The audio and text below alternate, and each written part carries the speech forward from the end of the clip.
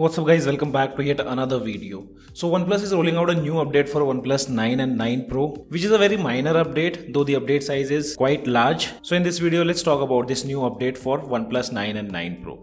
So without wasting any more time, let's get started. So here you can see this is my OnePlus 9 on which I've already received the OTA update and the update size was approximate 400 MB. First, let me show you the software information. Here you can see software version is 12. Security patch have been updated to 5th September 2021 and if you talk about the OS version version is C.65 previously C.63 was also a huge update which was approximate 700 MB and this update is also quite large. You can see the approximate file size is around 390 MB and guys if you haven't received the OTA update I'll try to provide the download links in the description below. Right now they're not available but soon they are available. I'll add the links. You just have to download the incremental file if you're running C.63 and after that you just have to go to settings go to about section open version tap on build number 7 times until you see you are a developer now.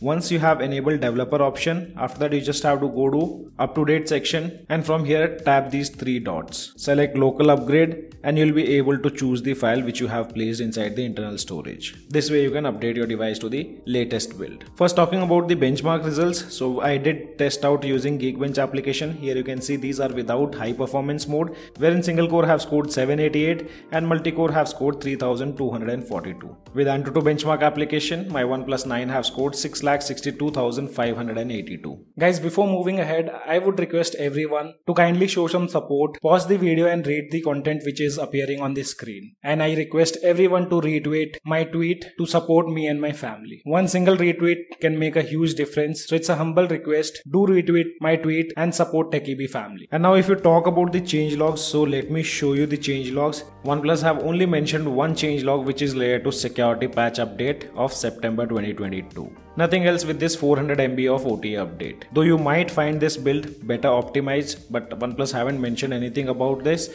And if you guys remember previously, OnePlus did add few features like dual views video, film mode, and in the changelogs they also mentioned that they have added the text scanner, which wasn't present on the C.63 build. I thought they would be adding in the upcoming build. So we have the C.65 build and still that feature is missing, which was called text scanner. Those were the changelogs directly picked up from ColorOS because because ColorOS do have this text scanner feature and many more features when it comes to camera segment. And also after the last update, many users reported issues in recording videos at 4K with 60 FPS, wherein their camera used to lag a little bit when they start recording videos. So now let's check it out.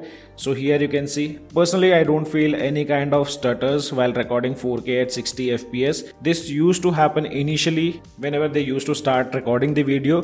But for me, I'll again show you guys, I'll close the camera application and relaunch it. And now if I see, I'll start the recording and okay so there are no lags to be seen or stutters while recording 4k at 60 fps so hopefully that thing have been taken care by OnePlus. But if you guys still face the issue, do let me know in the comment section below. I won't be doing a review of this particular build because I'll be coming up with the in-depth review of Oxygen OS 13 mostly tomorrow or day after. And another issue which OnePlus have fixed with this update that was related to PIP mode for YouTube application. So here if I open up any video and guys if you want to check out the 5G availability we have made a dedicated video make sure to check out that video by which you will get a fair idea whether your device supports 5G or not. So talking about the PIP mode, right now you can see I did not find any kind of issues while turning on PIP mode. If I just use the recents page also once and then go to YouTube application, YouTube is being played. If I switch to PIP mode,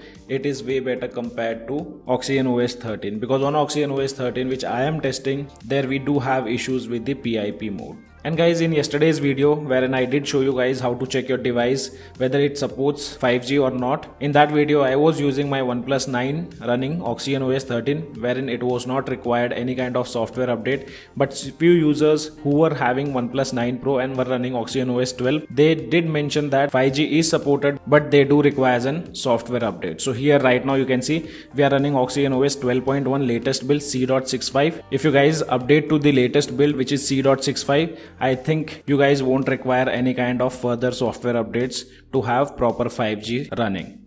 So here you can see 5G device it is supported and it doesn't even say whether the software update is required or not. But one issue if you notice here you can see the white bar do appears at the bottom of the screen. I think this will go away with a single reboot but this started to appear after updating to C.65 and also on previous build USB OTG wasn't working so let's test out on this build whether it works or not. So here I have a USB connector along with one pen drive connected. So let's check whether this thing works on my OnePlus 9 or not because previously it wasn't working.